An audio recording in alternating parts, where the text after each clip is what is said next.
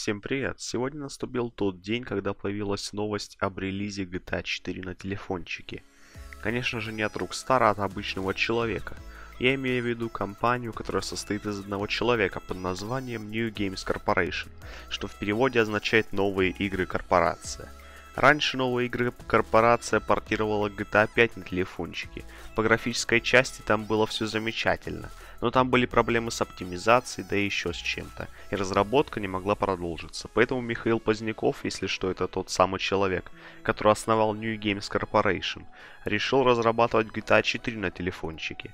Недавно они выпускали трейдером. Сейчас вы его видите на своих экранах.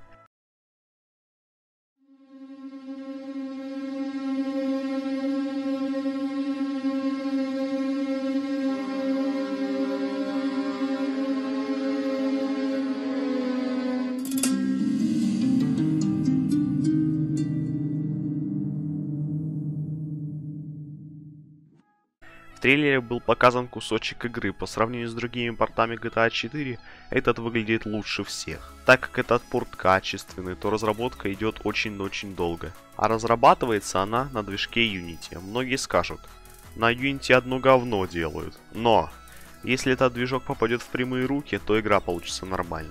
В общем, сегодня на официальном YouTube канале Новой игры Корпорация вышло новое видео с демонстрацией геймплея. Разработчик попросил 50 тысяч подписчиков и 100 тысяч просмотров под тем роликом, и тогда он выпустит свою первую версию порта GTA 4 на Android.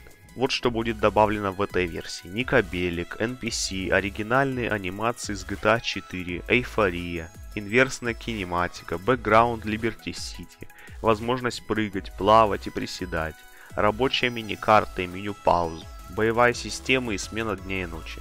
В следующих обновлениях разработчик хочет портировать еще часть карты с GTA 4, а также хочет добавить первые две миссии. Точной даты выхода сейчас пока нет, так как все зависит только от вас. Как только вы наберете 100 тысяч просмотров и 50 тысяч подписчиков на новые игры корпорации, то он сразу же релизнет свой порт GTA 4 на Android. Всем спасибо за просмотр данного ролика, всем пока.